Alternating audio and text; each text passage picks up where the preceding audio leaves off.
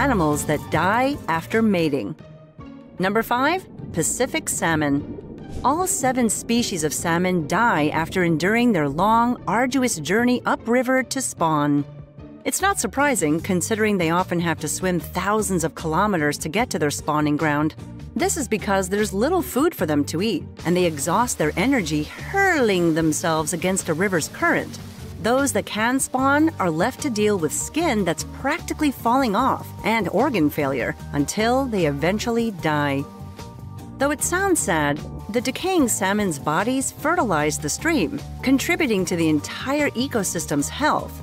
And since they always return to breed and die at the same stream at which they were born, they are a perfect example of the circle of life. Number 4. Antechinus.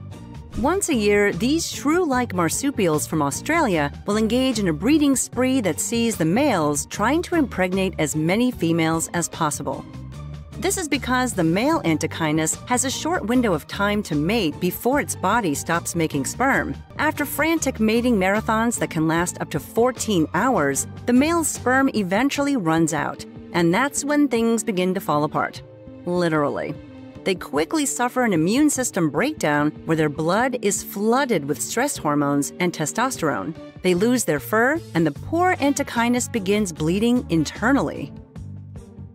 A male's life ends with it becoming blind and its body rotting from the inside out. Number 3. Cicadas. When a cicada is born, typically on the branch of a tree or shrub, it falls and immediately burrows into the ground. There, it'll live off the nutrients of tree roots, spending almost all of its life underground. Anywhere from 2 to 17 years later, they emerge fully grown along with thousands of their brethren. Over the span of five weeks, the cicadas breed. And can you guess what happens next? Yep, that's right, uh, they die.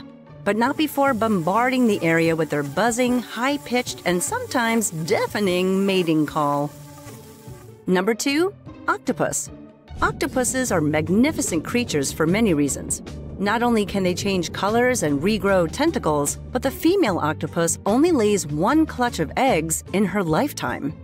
After laying her eggs, the octopus stops eating and her body slowly wastes away. Some will hasten their demise by ripping themselves apart. The males don't have it easy either. They stop feeding after the breeding season and die within months, either at the hands or tentacles of a hungry female or being picked off by a predator. And number one, praying mantis. Graceful and still, the praying mantis may appear harmless and delicate, but it's at the top of this list for a reason. Known as sexual cannibalism, the female mantis will kill her partner after and sometimes during the act of mating. But it doesn't always end there for the ill fated suitor.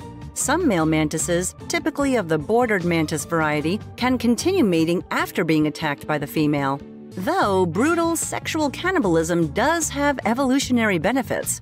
Female mantises that eat their mates are stronger than their competitors, which means their eggs will be healthier and their young stronger too.